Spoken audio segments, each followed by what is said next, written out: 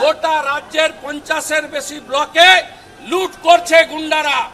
আর এই রাজীব সিনহা, মমতা ব্যানার্জির একটা পেট ডগ এবং মমতা ব্যানার্জির ফ্রন্টাল অর্গানাইজেশনে বসে এই জিনিস করছে। আমরা হাইকোর্টে ক্লারিফিকেশনের জন্য যাব এবং আমরা আজ থেকে শুরু হলো। যতজনকে বিডিও অফিসে ঢুকতে দেননি, এখানে লাইন দেবে। রিড্রেসাল সেল খুলতে হাইকোর্ট বলেছে। রিড্রেসাল সেলে কমপ্লেন জমা হবে। গোটা রাজ্যে আবেদন করছি। যাদের যে বিরোধী দল, যে প্রার্থী হতে চান, স্বতন্ত্র প্রার্থী হলেও, তারা যদি নমিনেশনে আটকে দিয়ে থাকে, সবাই সরোজিনু নাইডু অফিসে আসুন। পুলিশ আপনাকে আটকাতে পারবে না। এপিক কার্ড হাতে রাখবেন। হাইকোর্ট বলেছে রিড্রেসাল সেল খুলতে। এরা এখনও সেল খোলেনি। মমতা ব্যানার্জিকে লুট করতে দিচ্ছি না। লুট করতে দেব না। এটা আমাদের চ্যালেঞ্জ থাকল, আমরা এটা করে দেখাবো।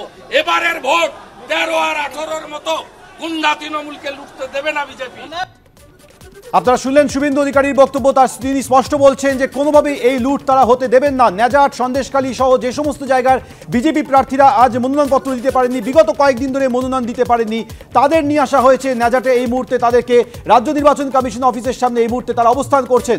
এই মুহূর্তে রাজ্য নির্বাচন কমিশনের সঙ্গে ভিতরে কথা বলছেন বিজেপি রাজ্য সভাপতি। পঞ্চায়েতের মনোনয়ন পর্বের আজ পঞ্চম দিন। রাজ্য নির্বাচন কমিশনের অফিসের সামনে একেবারে ধুন্ধুমার পরিস্থিতি। এই মুহূর্তে রাজ্য বিজেপি সভাপতি সুকান্ত মজুমদার, বিরোধী দলনেতা, রাজ্যের বিরোধী দলনেতা শুভেন্দু অধিকারী তারা ভিতরে গিয়েছেন। নির্বাচন কমিশনারের সঙ্গে কথা বলছেন। আগামীকালই মনোনয়ন জমা দেওয়ার শেষ দিন। তার আগে শুভেন্দু অধিকারী বলছেন যে, যারা মনোনয়ন জমা দিতে পারেননি, সেই সমস্ত বিজেপি প্রার্থীরা তারা বিডিও অফিসের সামনে লাইন করবেন। তারা নির্বাচন কমিশনে অফিসে গিয়ে তাদের মনোনয়ন জমা দেবেন। এরকমই দাবি জানাচ্ছেন শুভেন্দু অধিকারী। এমনকি অন্যান্য রাজনৈতিক দলগুলোর কাছেও তিনি দাবি জানাচ্ছেন। যে সমস্ত প্রার্থীরা, সমস্ত বিরোধী দলের কাছে আহ্বান জানাচ্ছেন শুভেন্দু অধিকারী। এই মুহূর্তে সিপিএম নেতা সুজন চক্রবর্তী রয়েছেন আমাদের সঙ্গে টেলিফোন লাইনে। সুজন দা, এই মুহূর্তে রাজ্য নির্বাচন কমিশনের সামনে মনোনয়ন যে সমস্ত বিজেপি প্রার্থীরা দিতে পারেননি, তারা এই মুহূর্তে করছেন। অন্যদিকে শুভেন্দু অধিকারী তিনি বলছেন যে, সমস্ত বিরোধী দলের কাছে তিনি আহ্বান জানাচ্ছেন, যারা মনোনয়ন জমা দিতে পারেননি, তারা যেন নির্বাচন কমিশনের অফিসে আসেন এবং সেখানে গিয়ে মনোনয়ন জমা দেন। দেখুন, কার্যত পশ্চিমবাংলায় নির্বাচন কমিশন যে ঠিকভাবে নির্বাচন হোক, গণতন্ত্র রক্ষা হোক, এই মনোভাবে চলছে, এটা আমাদের মনে হয় না। আমাদের প্রতিনিধিরা গতকালকে সেটা তথ্য দিয়ে দেখিয়ে দিয়ে এসেছেন। নির্বাচন কমিশন শাসক দলের মনোভাব নিয়ে যদি চলে, সেটা খুব আনফর্চুনেট সেটা হয় না।